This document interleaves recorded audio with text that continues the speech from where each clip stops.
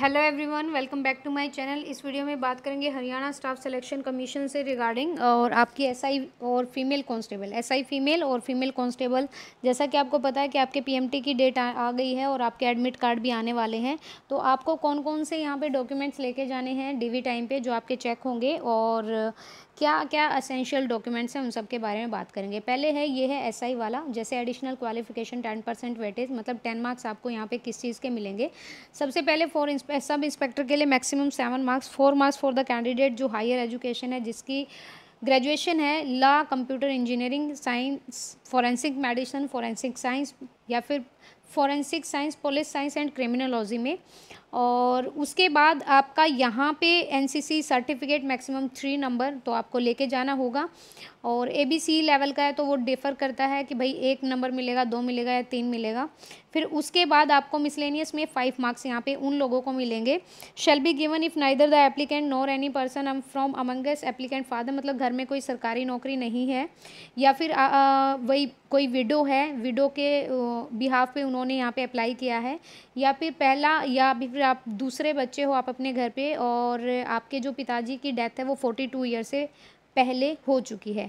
या फिर आप फ़र्स्ट और द सेकंड चाइल्ड हो, अपने फादर के had died before the applicant पंद्रह साल के होने से पहले आपके फादर की डेथ हो चुकी है, ये सब। फिर यहाँ पे पाँच मार्क्स मिलेंगे विमुक्त जाति वाली को, जो टपरीवास जाति होती है, और एट मार्क्स मिलेंगे आपके एक्सपीरियंस के। वन मतलब one half zero point five marks मिलता है पर ईच ईयर यहाँ पे देखो provide no applicant will be given more than ten marks से ज़्यादा नहीं होंगे। क्लेम ऑफ़ रिजर्वेशन कर रखा है तो आपको यहाँ पे लेके जाना पड़ेगा अपना सर्टिफिकेट और socio criteria if any shall be admissible to the candidate of Haryana domicile only जो लोग हरियाणा से बिलोंग करते हैं, सिर्फ़ उनको ही मिलेंगे, ये मार्क्स बाकियों को नहीं मिलेंगे सोशल इकोनॉमिक क्रिटेरिया के। अगर यहाँ पर रेगुलर फ्रेमवर्क की बात करें रेगुलेटरी फ्रेमवर्क की बात करें तो भाई फादर डिकीज सर्टिफिकेट इशूड तो ये आपको अनेक्शर ए वन और ए डबल वन ये मैं आपको दिखा दूँगी ये अनेक्शर ये आपको बनवाना है विडो सर्टिफिकेट आपका तहसीलदार से रेफ़र होना चाहिए। और विमुक्त जाति वाला भी आपका यहाँ पर तहसीलदार से इशू होना चाहिए। एक्सपीरियंस सर्टिफिकेट भी है, वो भी एक कंसर्न अपॉइंटिंग अथॉरिटी से इशू होना चाहिए। Affidavit attest by executive magistrate in prescribe format regard undertaking to be upload application जो आपका अंडरटेकिंग फॉर्म है, वो भी यहाँ पे मजिस्ट्रेट से क्या होना चाहिए? एग्जीक्यूटिव मजिस्ट्रेट से अटेस्टेड होना चाहिए। ये आपका नोट है परफॉर्मा और फॉर्मेट है।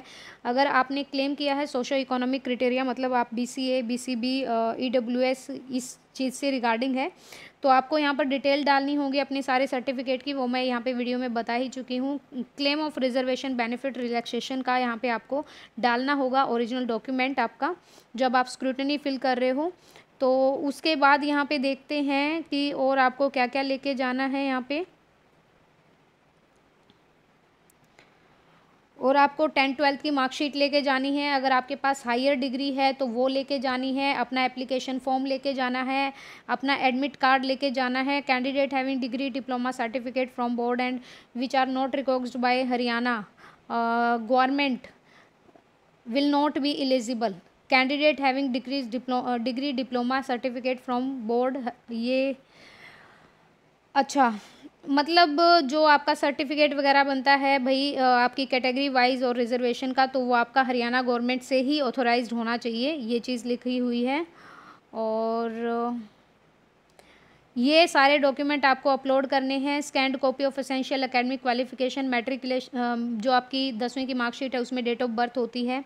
स्कैंड कॉपी एस सी है तो एप्लीकेशन फॉर्म जब अपलोड करना है, उसके टाइम पे है। और डॉक्यूमेंट अच्छा यहाँ पे देखिए स्क्रूटनी ऑफ़ डॉक्यूमेंट ओके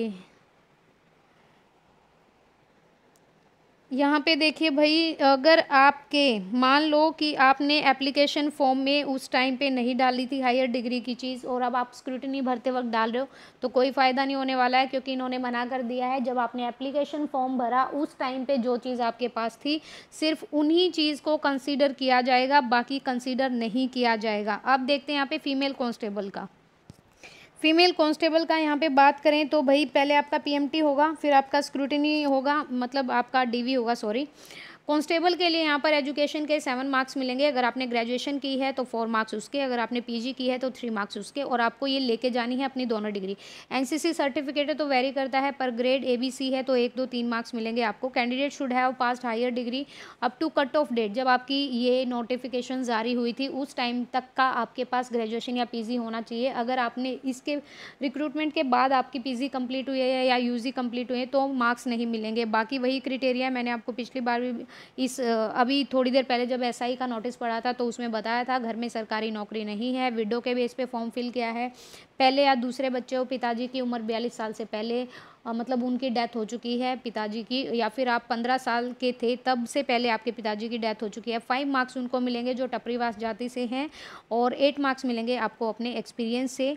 या एग्जामिनेशन शेड्यूल है ये आपका रेगुलेटरी फ्रेमवर्क है कि certified issue by competent authority annexure A one आपका वीडियो का सर्टिफिकेट नायब तहसीलदार से इशू होना चाहिए विमुख जाति से हो, या फिर आप यहाँ पे देखिए experience certificate issued by the concern appointing authority refer annexure D one और affidavit certificate registered by the executive magistrate in the prescribed format regard point refer annexure 1 to be upload application form and brought at the time of scrutiny के time पे लेके जाना होगा फिर यहाँ पे अगर आपने क्लेम वगैरह किया है आपकी कास्ट के लिए तो आपने कास्ट सर्टिफिकेट अगर आपने रिजर्वेशन लिया है एज में तो वो सर्टिफिकेट आपको डालना है कोटा रिज़र्व और बाकी मैं आपको दिखा देती हूँ अनेक्शर यहाँ पे क्या है ये बाकी आपकी इंस्ट्रक्शंस हैं ये आपका एनेक्चर वन है भाई, जिनके फादर डाइड हैं, उनको यहाँ पे नायब तहसीलदार और तहसीलदार से बनवाना है ये। ये पूरा फिल करना है। अभी आपके पास टाइम है तो आपको कर लेना है ये फिल और यहाँ पे सिग्नेचर ऑफ़ द एप्लीकेंट के सिग्नेचर होंगे। यहाँ पर आपके दो विटनेस के सिग्नेचर होंगे। ऊपर नायब तहसीलदार से इशू होगा। वेरिफिकेशन में ये आपका डाला जाएगा और signature with the seal of member panchayat या काउंसलर या एमएलए एमपी आपका विलेज का यहाँ पे लिखा जाएगा। ये वेरीफाई करेगा वो आपके सर्टिफिकेट को। ये अनेक्शर टू है आपका। अगर हाँ certified foreign applicant whose father has died ये वही है। और उसके बाद तहसीलदार के साइन होंगे। उसके बाद देखिए उसके बाद देखिए, ये एप्लीकेशन फॉर्म है विडो सर्टिफिकेट अगर किसी ने विडो के बेस पे यहाँ पे अप्लाई किया है तो उसको ये यहाँ पे तहसीलदार या नायब तहसीलदार से सर्टिफाइड कराना पड़ेगा। आपके सिग्नेचर होंगे मतलब उनके सिग्नेचर होंगे, और ये बनवा लीजिएगा भाई तहसील से, ठीक है? डीवी के टाइम पर लेके जाना है, ये वेरीफिकेशन मोड है आपका।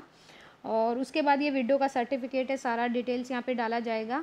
ये एक्सपीरियंस का सर्टिफिकेट है, जिन लोगों ने एक्सपीरियंस सर्टिफिकेट यहाँ पे मतलब मार्क्स लिए हैं एक्सपीरियंस के तो उन लोगों को ये भरवा के लेके जाना है।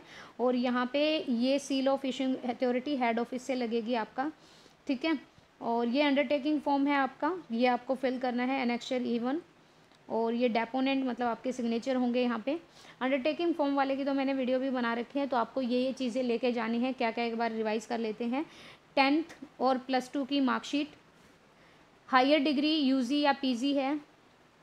आपका एप्लीकेशन फॉर्म आपका एडमिट कार्ड आपके सारे कास्ट सर्टिफिकेट ओरिजिनल अगर आपने क्लेम किया रिजर्वेशन का तो वो सर्टिफिकेट अपने फ़ोटोज़ और बाकी ये एनेक्चर आपका फिल करके अगर कोई इसका मतलब भाई एक्स्ट्रा मार्क्स मिल रहे हैं तो ये सब आपको फिल करने स्क्रूटनी टाइम पे आपको लेके जाने वहाँ पे चेक होंगे। और बाकी मैंने बता दिया कोई कास्ट एरर आ रहा है तो उसका पैनिक होने की ज़रूरत नहीं है। जब आप वहाँ पर जाओगे तो इशू सॉल्व हो जाएगा।